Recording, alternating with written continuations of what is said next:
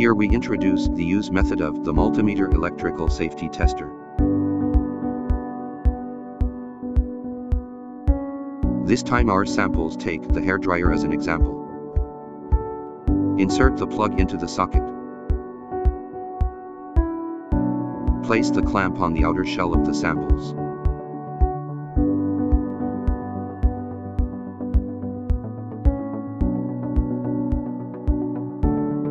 Turn on the switch of the hair dryer.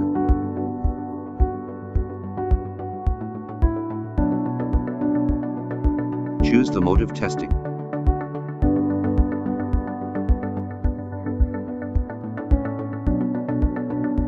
For specific test methods, please refer to the instruction manual.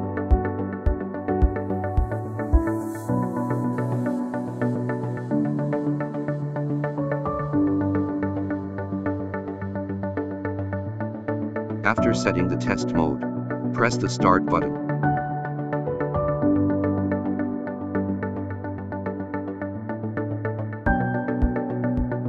After the test is completed, if the sample is qualified, the green light will be on.